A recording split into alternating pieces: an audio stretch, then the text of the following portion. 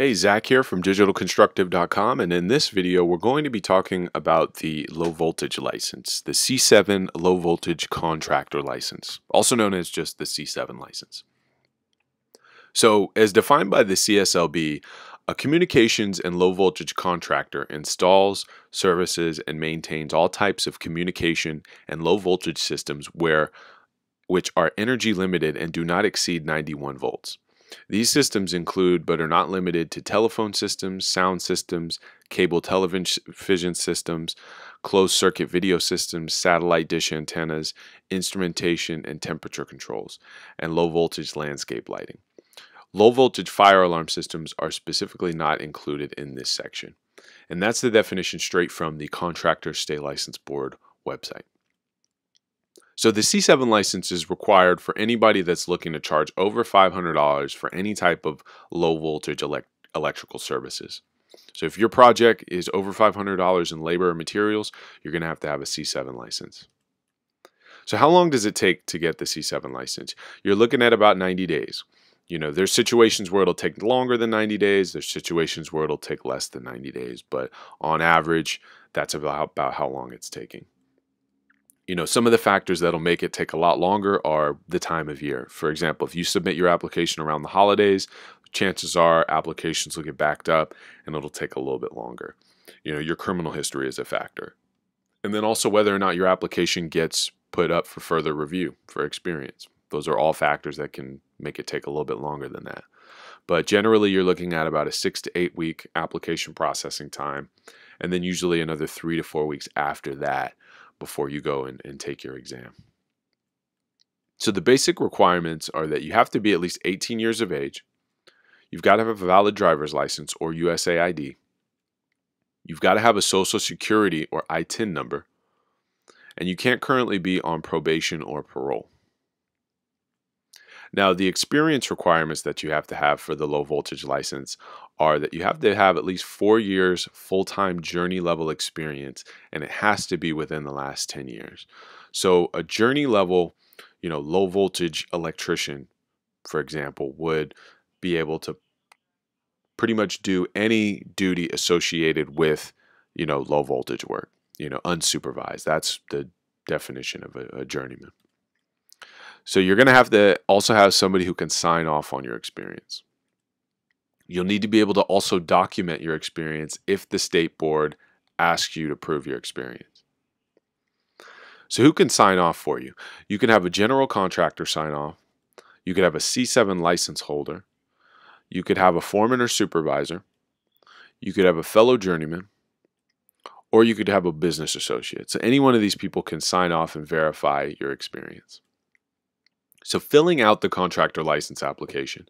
So the person that you choose to sign off for you is basically going to have to provide a brief description of your skill set on the application. It's called the work certification. Now, how this description is written is critical to the CSLB.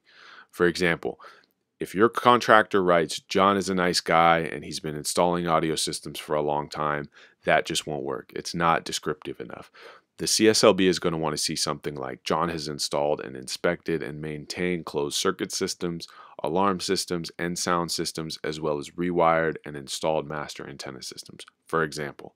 Don't use that word for word, but that's more or less the gist of how they want your experience explained. So keep that in mind when you're filling out the application.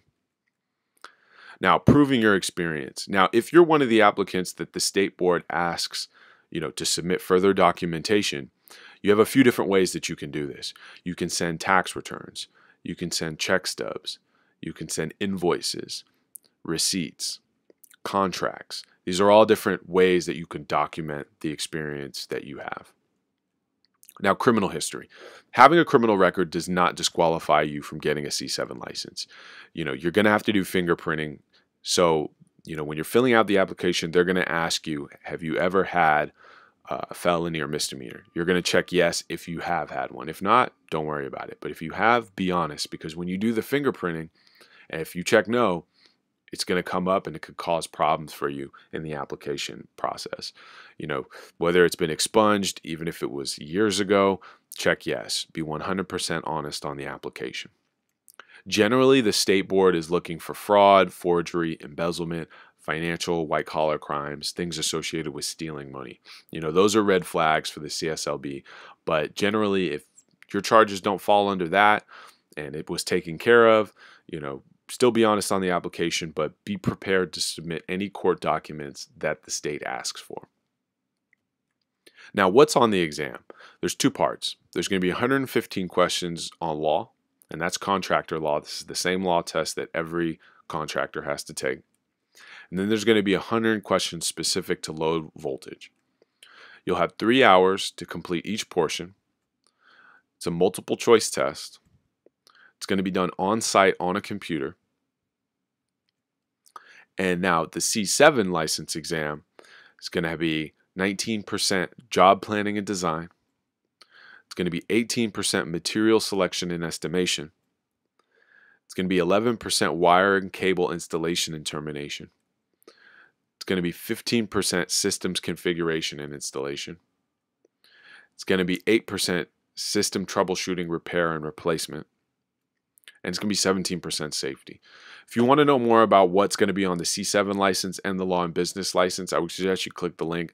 Um, check out digitalconstructive.com. We've got an entire um, post specifically on the C7 license where we go a little bit more in depth into what's going to be on the low voltage license exam. So the costs. You know, when you submit an application, you're going to have to pay a state application fee. This is going to have to be paid in a check or money order form. After you pass the exam, you're going to pay a license activation fee, and this is going to be paid every two years. You're going to have to cover the cost of fingerprinting, and you're going to have to pay what's called a contractor bond fee. So the state board's going to want you to have a contractor bond number ready for them before they issue you your license. Now, how much you pay for your contractor bond depends on where you go to, to get your bond, but it is something that you will need to pay for. So after you pass the C7 license exam, you'll know immediately. You'll get your results right there on the spot. It's a computerized exam, so you'll know whether you pass or fail right there. You can retake the exam um, right now, it's taking about 60 bucks to, to retake it. Usually, you can take it within three weeks. And you have to pay your license activation and provide your contractor bond number. And once you do that, you usually get your contractor license card, the physical card, in the mail within about, I'd say, you know, two to three weeks. So, in conclusion, getting the C7 license is a very smooth process, assuming you have the correct information and you have everything organized you know, you fill out your application correctly, and of course you pass the exam your first try. You know, if you follow all these steps laid out in this video, should be a very smooth process for you. So I just want to thank you for watching. Again, my name is Zach from digitalconstructive.com. You know, click the like button, subscribe. We're always dropping new videos. We've got videos on every single license. If there's something you want to see us make a video on, drop it in the comments and we'll do our best to make that happen for you. But thanks again for watching and thanks for checking out the video from digitalconstructive.com.